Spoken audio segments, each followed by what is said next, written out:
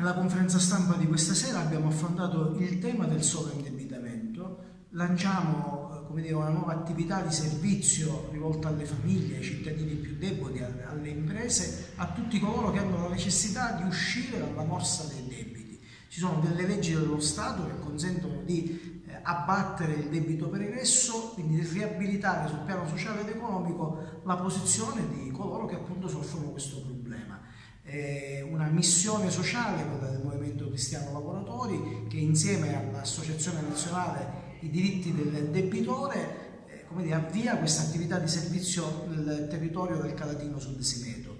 In realtà la nostra iniziativa si inserisce nel contesto di un protocollo di intesa più generale siglato con MCL in Sicilia. Questa sera abbiamo avuto collegato anche il nostro presidente regionale Giorgio D'Antoni. Eh, diciamo, stiamo sperimentando nel Calatino un rapporto più complessivo. Speriamo dire, che questa collaborazione sia utile, dia dei buoni risultati e diventi una buona prassi da diffondere in tutto il territorio regionale. Si riconferma il nostro impegno, il nostro servizio a favore degli ultimi della società, dei cittadini più deboli, è un impegno che portiamo avanti con senso di solidarietà e con spirito cristiano.